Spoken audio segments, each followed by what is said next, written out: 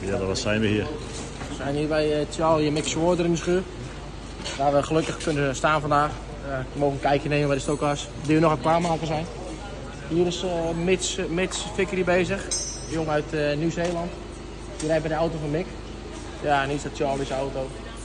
Die is zelf nog druk te werk, dus die komt straks en dan gaat die auto zelf klaargemaakt worden.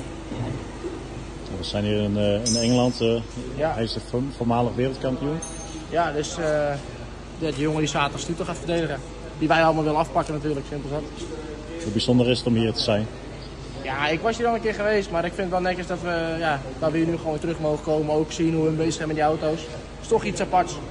Wel leuk uh, ja, dat we dat allemaal een keer mogen zien.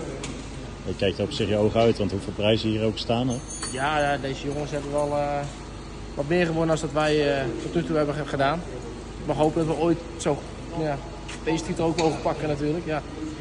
We gaan het zien. Zullen we nog even verder kijken bij de prijzen? Ja, tuurlijk. Ja.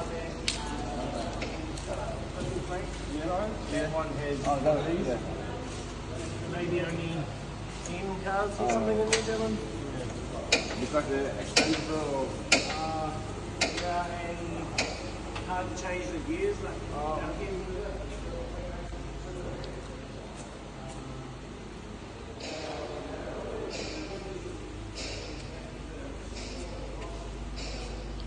Is de Wall of Fame. Ja.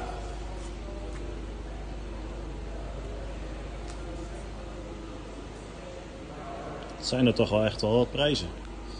Ongelooflijk. Ja. Ons vertelde dit nog maar een kwart is van de bekers die hij heeft. Hij schijnt er meer dan 2000 te hebben, maar de mensen die de naam worden kunnen, die geloven het ook wel. Want ja, die jongens doen het spelletje al een tijdje en die weten ook echt wel waar ze mee bezig zijn. Dus ja, het is wel uh, iets, iets uh, moois om te zien natuurlijk, wat hier allemaal staat. Wat is nou het verschil van, tussen jullie, hoe jullie rijden en uh, bijvoorbeeld hij? Ja, Mick vooral is een heel stuk lomper als gemiddelde stokkenrijden. Daarom noemen ze ook Mr. Mr. Box Office. Maar hij heeft er wel wat mee bereikt.